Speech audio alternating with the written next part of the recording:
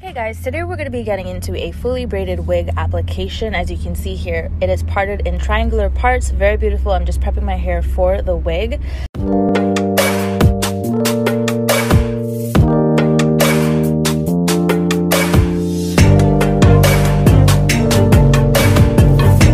You can't tell me that these braids were not braided into my hair, out of my head. Look at this.